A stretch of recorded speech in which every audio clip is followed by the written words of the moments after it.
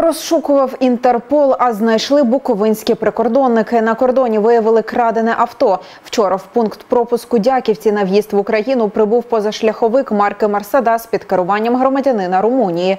Під час перевірки виявили, що автівка у розшуку, бо ж був вкрадений на території Великої Британії. Водія та машину передали представникам національної поліції.